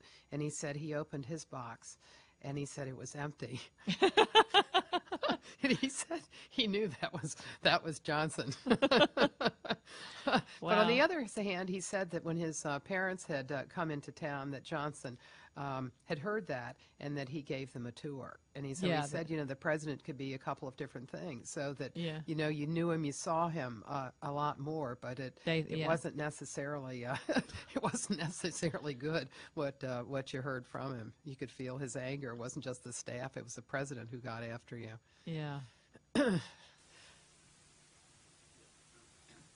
Um, uh, hi, Ms. Bumiller. Uh, thank you uh, for coming here. I'd like to add that uh, I have added your uh, New York Times website to my favorites page. So. Oh, thank you. it's I can't claim any credit for that. It's a, it's a really good website, though. Yeah, yeah, obviously. They do a really good job with it. Yeah. But, um, my uh, question is actually uh, like two-part question. Um, do you uh, feel with the like the recent elections in Spain that uh, this will like change? I, I came in late, so I don't know. If you Yeah, yeah. That's I haven't talked about that. Yeah. um, that if you feel that some of our allies will like readjust their positions, uh, their allegiance to America and the, uh, the reconstruction of Iraq, and also if you, um, I took a class with uh, Professor Robert Shogan, um, and he was talking how this summer, obviously, because it's an election year, that will be an important time for politics, but that the Olympics uh, being the summer that the whole world is uh, watching um, you know, obviously in Athens and it's one of the birthplaces of democracy, that if anti-Americanism will rise even more than it was over the last four years during the Bush. Those are those are good questions. I can't really answer them. I can't. I Yeah. Yeah, no, I mean, uh, there was a big, the, the, the, the briefing I said a little earlier was the, the White House briefing was dominated today by questions about Spain. And the question was, how much of a problem is the loss of this ally for the Bush administration? And they won't answer it, you know, because there, there's really, we were wondering, there's really no answer they can say publicly, which is, uh, they can't, you know, malign another democratically elected government, you know, and and so they can't say this is a problem for us. But obviously, they're really concerned about it. I mean, their their view is that their view publicly, their view is privately is that the terrorists won because what they wanted to do was use terrorism to uh, affect political change, and so they got, and it worked. Okay, and um, so I think the Bush administration is really concerned about this. Now, it's more symbolic than anything else. There's only 1,300 Spanish troops in Iraq, so pulling them out is not going to make a huge difference to what we do there. Um, as for the Olympics, uh, that's a really good question. I don't know. I think the the other really big concern, obviously, is terrorism in- Athens, and you know that's a very worrisome. Given, uh, you know that I mean, I guess they're doing everything they can, but it's Yeah, nerve wracking to think about it. Yeah. yeah. Yeah. Um, Towson, do we have a question from Towson? I've got a quick question about, uh, could you talk a little bit about Jason Blair and what Yeah. that has meant to you as Yeah. not only a Times reporter, but as a reporter in general? Oh right. Well, I uh, I I hardly knew Jason. I knew him to say hello to. Um, well, obviously it turned. The, I mean, I there's nothing I can say that's that startling to you. It turned the paper upside down and was a terrible terrible period in the paper's history. Um, and uh, it affected all of us. Uh, uh, um, in a big way. Um, I think um, I mean, it, our uh, our executive editor, you know, it, just turned the whole it turned the paper upside down. We have we have all new. I have a lot of new editors now as a result. Um, I mean, they were there before. They just there was you know Howell left and Gerald Boyd left and. But it was a really diff- it was hard. I'll tell you something. It was a hard time to work at the paper in that last spring when this was going on. There was about five or six weeks between the times the time that that Jason that first came out that he had plagiarized this story, and then and then it was like this house of cards, and it was just this.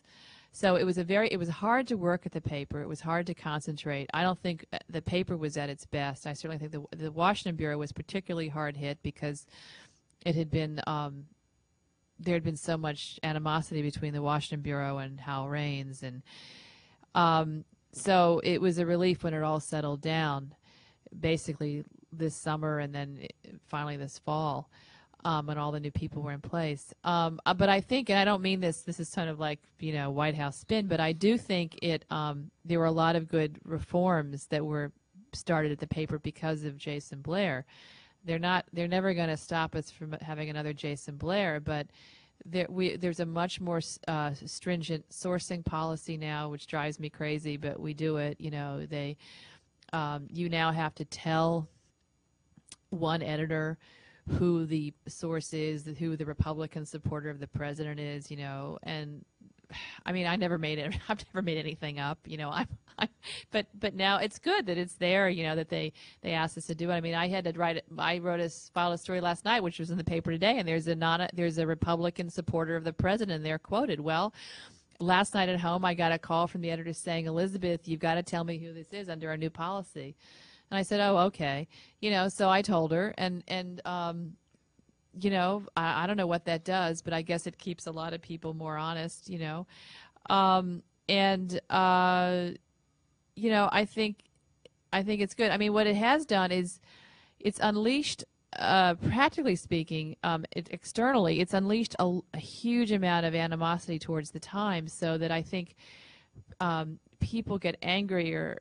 I mean, it, it just people who don't read the Times often decide, you know, write in and complain about it, and they don't know what they're talking about. But I think it became the Times became a a uh, uh, what's the word? You know, a whipping boy. A uh, it just became this lightning rod for a lot of criticism of the press in general. The Times is a really good paper. It's made up of people who work really hard, who are honest, who who try and get things right. I mean. Uh, but it's hard to. A lot of people don't. There's people out there who don't think that. Um, another, is there another Towson? Yes. Is that Towson? no, No, no. We're, we're going to do Roger, okay. Uh, do you find with the, the 24-hour news cycle that uh, some of your stories get away from you with news happening so quickly and it's often often over before it's almost started? Oh, that's a good question. Um, you know, those of us, uh, uh, most reporters at the paper still are focused on the paper. You know, we've got a website, but and that moves all the time.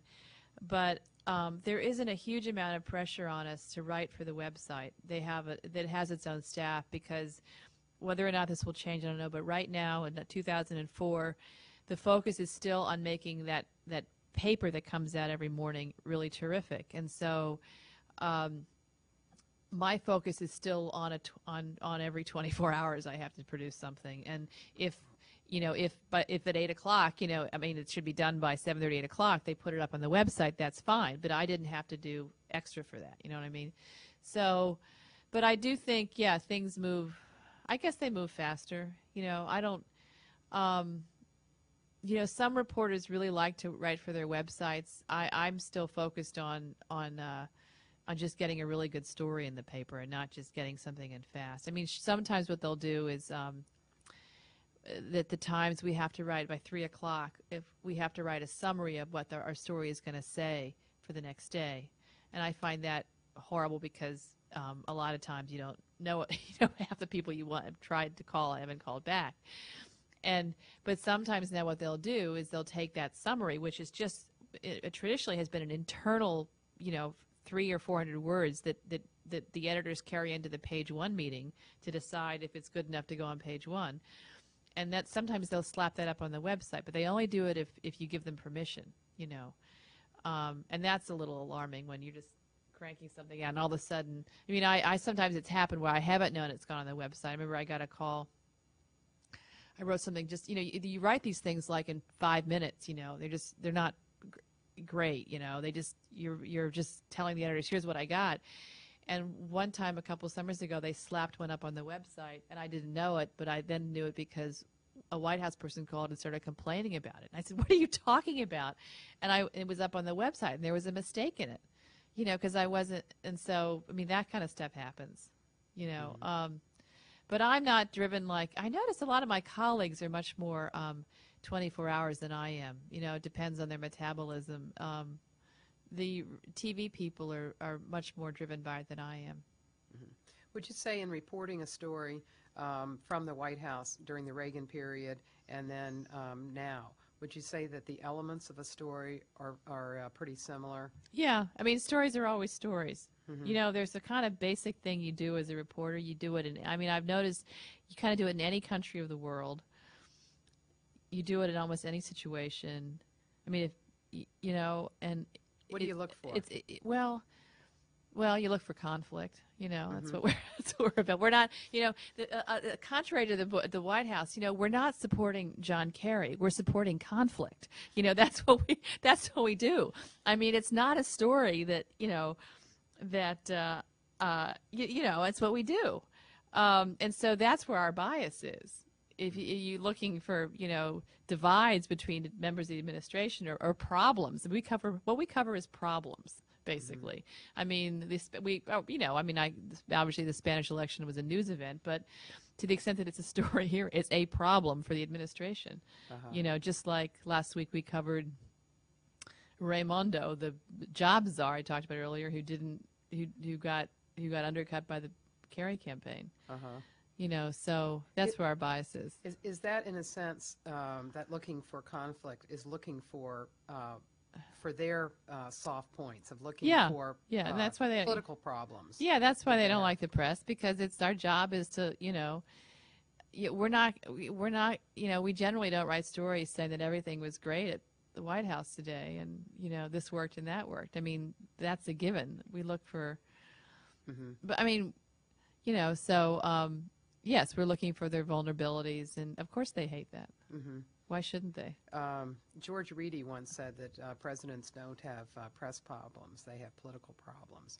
They Right. often think that they're press problems, and they, they treat it that way, and will go after reporters. But in reality, what they are are political problems. Well, I would certainly agree with that. Uh, I don't think the White House is a press problem at all. I think, you know, I think we're too. I mean, I think we could be a lot tougher on them. Uh-huh. You know, um, uh, I mean, they're getting a rough ride now because of Kerry, but that's because you know, but that's because there's a now there's a natural daily conflict. it's, you know, it's right there on your email every day. It, there's there's you know dueling emails from the Bush campaign and the Kerry campaign all day long.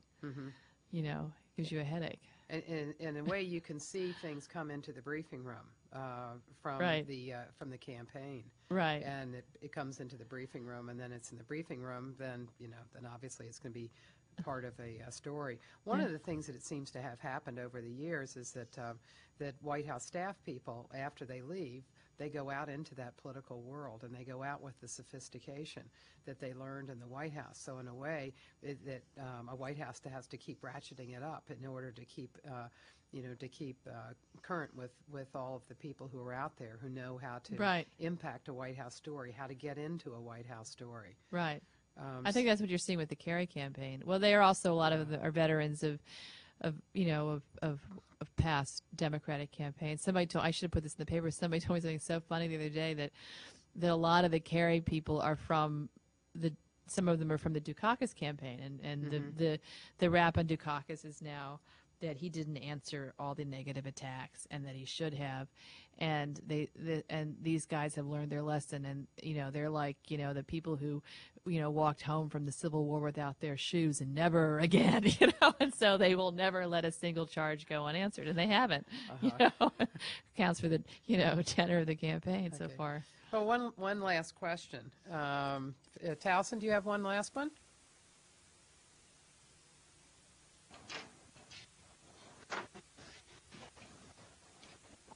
is that a person there I- moving towards the microphone? No. I, I wonder if you uh, think Kerry's gotten a free ride yet uh, so Oh. far. You hear, you hear people argue that, that Bush is having a rough road and Kerry hasn't gotten really scrutinized by the press. and I Well- was wondering what you thought of that. Um, he's uh, that's certainly what the White House thinks.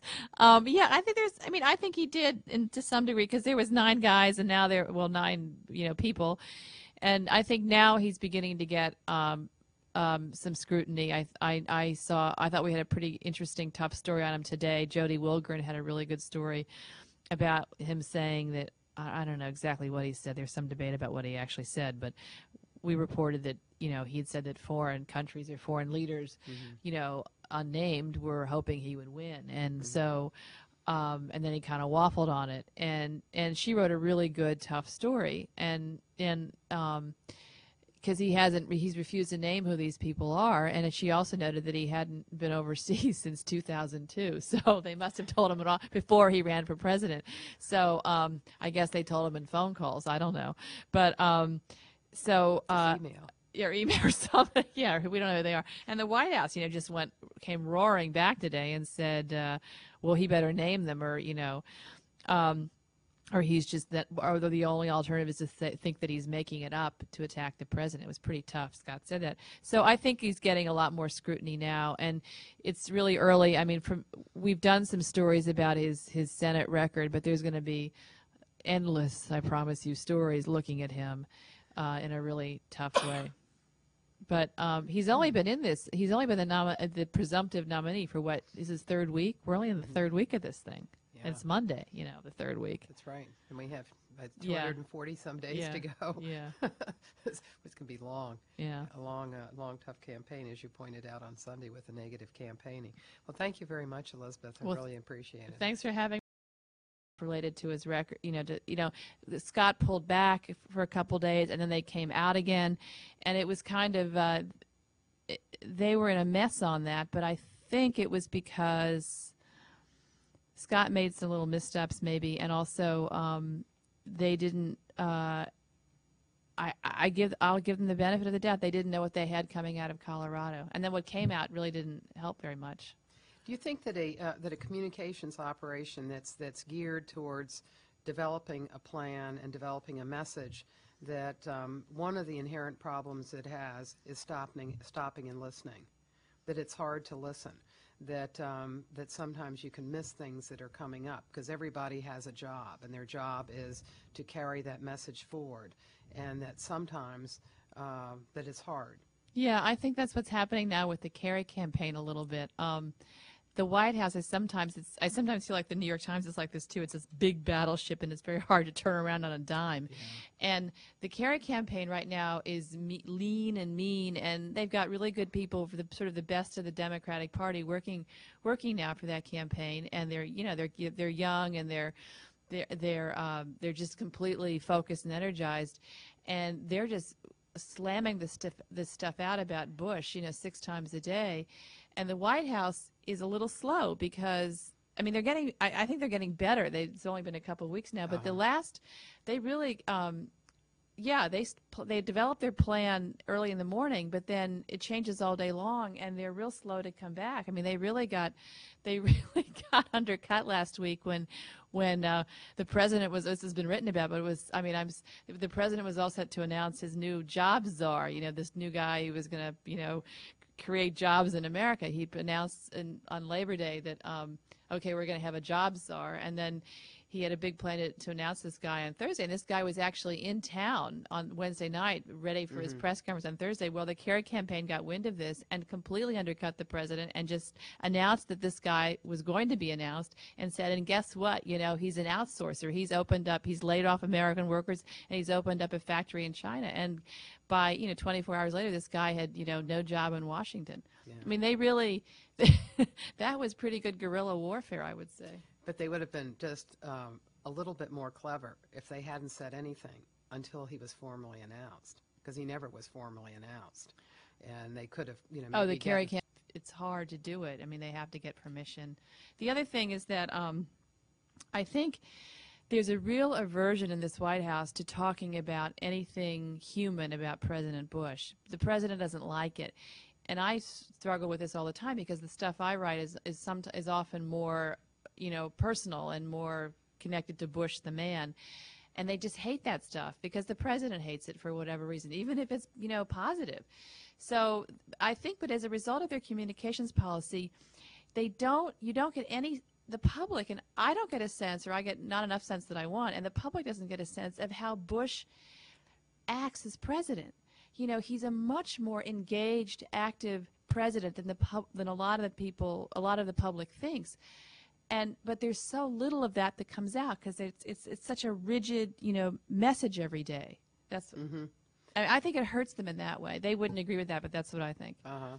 And also, perhaps it, it, um, it hurts them um, uh, at, at the margins because um, uh, reporters don't trust, uh, don't trust them for the information that they get uh, from them uh, because they give so little of it. So if a White House wants to say, you know, trust us, we're going to give you things, they don't have a history. Like, say, with the National Guard, um, the president had said in, uh, in his Russert interview that he would give information about his National Guard days, and it took until Friday to get that information. And in between, um, Scott McClellan got uh, beaten up in the uh, gaggle in the briefing Well, every day. That was a mess. Um, I would say, I'm, well, I'm going to go out on a limb here and say that my issue, I don't, I don't know of any incident when I've been outright lied to. I mean, I don't. That, that that's not my issue. My issue is mostly that the, the uh, that you you can never get them off the uh, the talking points. I mean, they just you can't you can't engage them intellectually in a way that is helpful to my stories, you know, or to helpful to the readers, and that's really frustrating. I think on the National Guard that was a whole other mess. Uh, the president sort of just said in this interview, "Okay, I, I want everything out." They, I mean, I think I would give them the benefit on the doubt of, uh, I would give them that that they didn't know what was out there, and then they to spend a whole week uh, just getting all that stuff out of. It all came Uh-huh. out of Colorado. Um, Scott said at one point in the briefing, you heard him, "We're not. We're only going to give out stuff and try and tell." Americans, or at least my readers, you know, um, a million readers during the week and two million on Sunday. Um, uh, what is the motivation? What the what is the White House really doing? What is um, what are our elected leaders really doing b- behind uh, the the public facade? It's a hard job. It's hard to f- actually find out in this White House.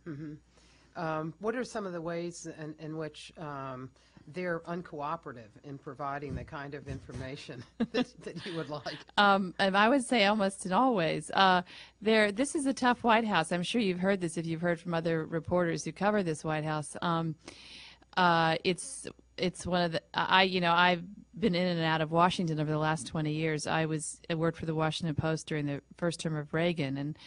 And so you can't just say that Republicans are like this. That Republic, you know, Republicans aren't real friendly with the press. This White House is extraordinary.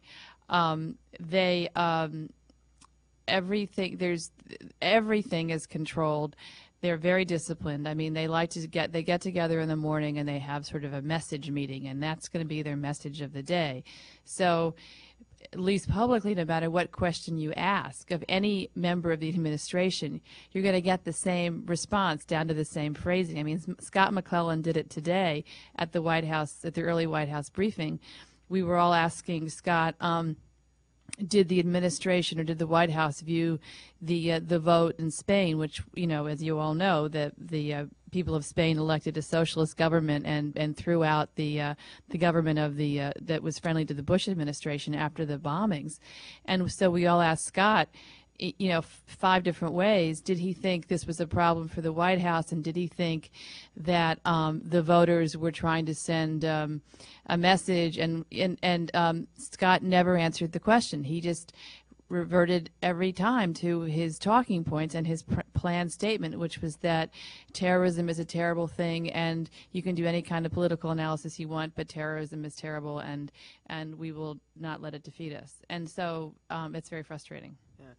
Um, do you think, to, to some extent, if you look back, Republican administrations have that, um, uh, they have that, uh, that type of pattern, that um, uh, when you look at their operations, they're organized for communications. They're organized towards persuasion rather than for providing information.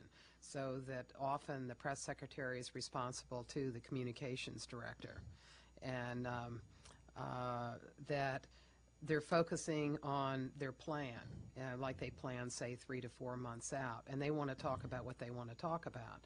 But um, but but that's it. I mean, that was true with uh, Nixon planned out. The uh, Reagan people um, also planned, and they put people in the in the press uh, position, in the press secretary's position, whose job it was basically to say what they that that message that they had developed.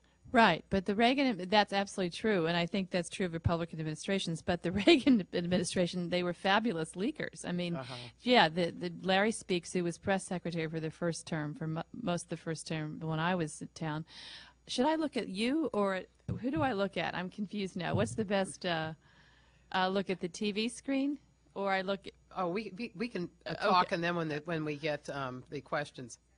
look up there. Okay. Uh-huh. okay, okay. So I look up there. Yeah. um, they, um, you know, Larry Speakes, the press secretary, would go out with the line of the day. But the the great thing about the Reagan administration was that um, they. Uh, they all leaked wildly and madly, you know, during the day. I mean, if from Jim Baker to David Gergen to the, you know, from the White House chief of staff to, to the deputy chief of staff to all sorts of other people at the White House, they would talk to us about what was really going on, um, and and that doesn't happen here. Uh, the president has has uh, is uh, has hired an enor- an extraordinary group of people who are intensely loyal and intensely disciplined, and there's just very little that comes out of this White House that isn't uh, that they don't want out. Um, so it's hard as a reporter. Uh-huh. And, and I guess Baker thought that it was important for reporters to have an understanding of policy. And Right. so he did a lot of background briefing uh, because of that. Right, and there's very little explanation. With two things, there's very little explanation of policy in this White House. I mean, if you read some of the books that have come out, the, the very beginning of these sort of tell-all books by former members of the administration, uh, they, you know, um, they say that there's like no policy going on. It's all the political shop and the communication shop that are that are running things, and there's a, a, an appalling uh, shallowness about policy. That's at least what you know. Um, uh, former Treasury Secretary O'Neill said, Paul O'Neill. Um, and uh, the other thing, so I mean, you can argue the other way. I mean, because I think there are a few members of the White House who you can talk policy with, but it's. Yeah, afterwards. Okay.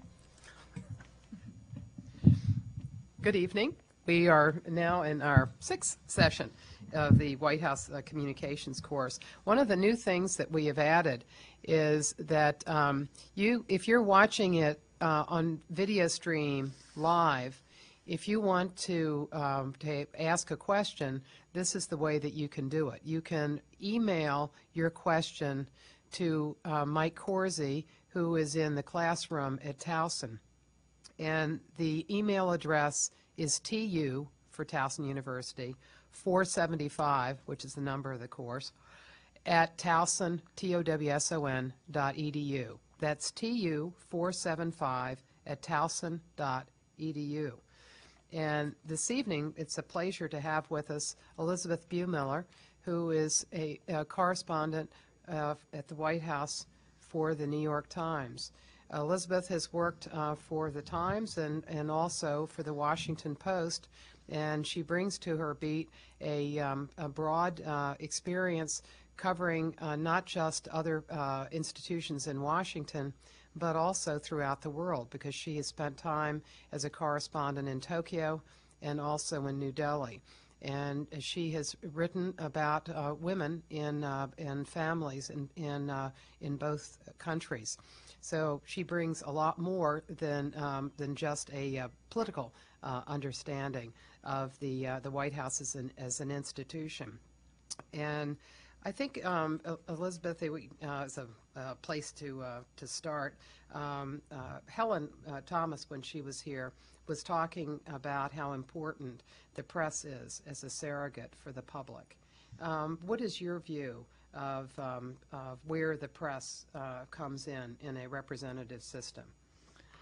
Well, not surprisingly, I think the press is really important. Um, I think that, um, I mean, we can talk about what the White House thinks of the press, but from what I think is that we are we play a really important role in trying to ferret out what's um, what's really going on in the government, and and uh, you know, the every day the White House puts out announcements and and uh, the president makes speeches, but that's only um, one part of the story. And my role is to dig underneath the official pronouncements and speeches and press conferences